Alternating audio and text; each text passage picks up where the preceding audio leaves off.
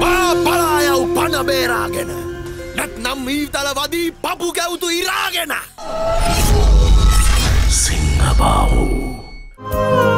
ලංකාක්ලේටස් එක් මොහොතක් කතා පෙලක්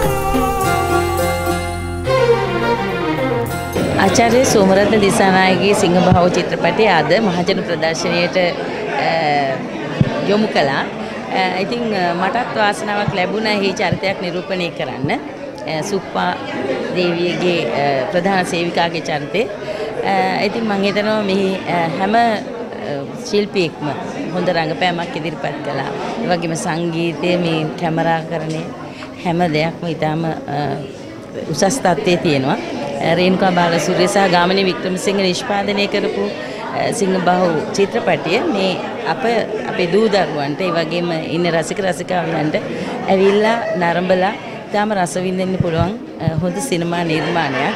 මම හැමෝටම ආරාධනා කරනවා අ, මිනිවාඩු කාලේ තමන්ගේ දූ දරුවෝන් එක්ක ඇවිල්ලා දෙමව්පියන්ට සහ ගුරුවරුන්ට තමන්ගේ සිසු දරුවන්ට මේ චිත්‍රපටය නරඹන්න අ, යොමු කරන්න කියලා. ඉතින් මම හැම කෙනාටම සුබ පතනවා මේ චිත්‍රපටයට සම්බන්ධ වෙච්ච සහ අපේ ආචාර්ය සෝමරත්න දිසානායකට සහ ඇතුළු හැම දෙනාටම මේ සුබ පතනවා මේ මෙවැනි හොඳ නිර්මාණයකට සම්බන්ධ වීම ලැබීම ගැන.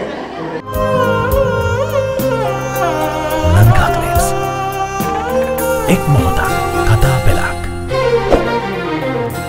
Subscribe now.